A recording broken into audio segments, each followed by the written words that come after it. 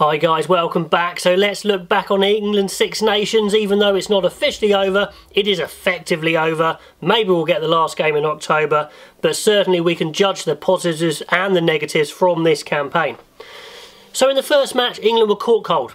They had a poor match. France was supercharged. Even though England actually got a losing bonus point out of it, they were definitely second best. So the questions were asked, is there a World Cup slump?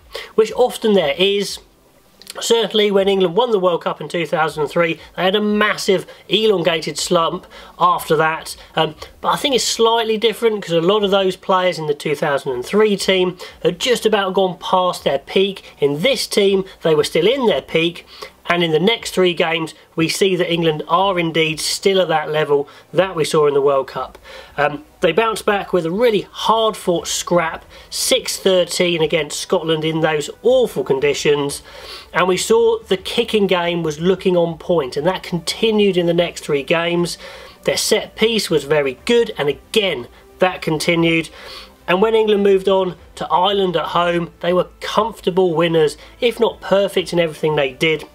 They never looked like losing and their defence looked absolutely amazing, absolutely on point. I mean, John Mitchell has done wonders with this England defence. Certainly Shaun Edwards had, has had certainly lots of praise for working with the French defence, but the English defence looks equally as good. And again, set piece kicking was right on, and against Wales, very similar strengths.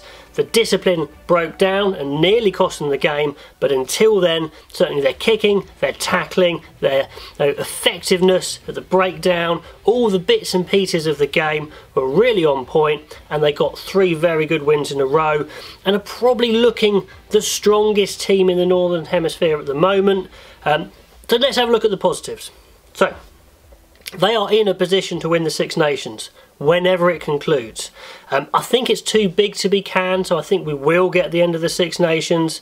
Whether they will win or not, I don't know. But as long as they win their last game, you know, effectively, hopefully with a bonus point, I think you'll definitely say a very good Six Nations for Eddie Jones. And they avoided that World Cup slump, and their whole starting 15 or 23, if you like, are performing well. They really are. Players like uh, Youngs Ford and Farrell, the, the, you know the playmakers of that team have had a little bit of a boost really. Youngs has started playing a bit better. Tuilagi's playing like he was in the World Cup. Watson's come back and looked fantastic along with May and Daly. Uh, the front five look very strong. Itoje is one of the best uh, second rows in the world. And they scrape by in the back row, uh, covering number eight. Curry doing a good job. Still don't think he's a long-term solution there. But with Billy Vunipola to come back in, you know, it's looking very, very tidy for their first choice team. And like I said, defence, a massive positive. They've used defence as a real attacking weapon and at times happy to kick the ball away in attacking positions because they think their defence will then go and get them that breakthrough, maybe with a penalty or a turnover.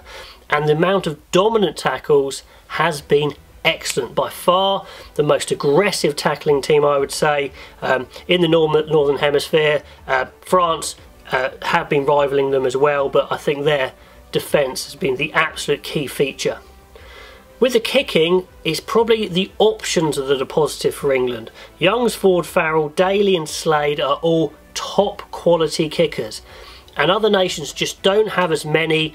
And if their kickers have an off day England can you know they've got more kickers to share it around. If say Sexton and Murray have an off day there's really not a lot else there to help them out. So it's that variety that can help them. Um, for example if, if Farrell's carrying a bit of a knock then Ford can take kicks at goal and vice versa.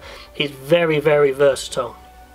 And all good teams have good set pieces and England's set piece has looked like it's, it's moved up a little bit of a level. Maybe with the introduction of Proudfoot, the coach, the scrum looks a little bit stronger, a bit more powerful. The line out continues to be an excellent source of ball. A little bit worrying that Borthwick is leaving, but at the moment, certainly a positive. Now, it's not all perfect for England. There's definitely some negatives, some things I don't like. And first of all is, is the niggliness. Now England want to be niggly and annoying, which I get and I like. The idea of it, but they've gone too far. And I think everyone can see that. The holding on on the ground, the goading of players when they make a mistake. I just don't like it. And it creates that animosity between England and other teams and fans, um, coaches, etc., that we just don't need. I mean, England has enough animosity between nations as it is, as you all know, and they're just not helping themselves. I don't think they need to. Um, and they can just need to tone it down a bit. I know what they're trying to do, but they've gone over the top, so hopefully they will tone that down.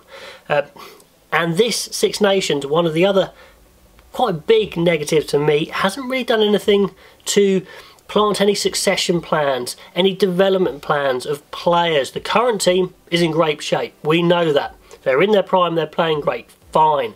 But we need one, two or three other players that are clearly coming through like other teams have been doing, and we just haven't had that. Eddie Jones hasn't wanted to try that. You know, he likes playing full strength teams, um, certainly places uh, like at 8, like at 9. Um, Manu's replacement potentially, because he's not going to go through to the next World Cup, as he says himself. They just haven't appeared.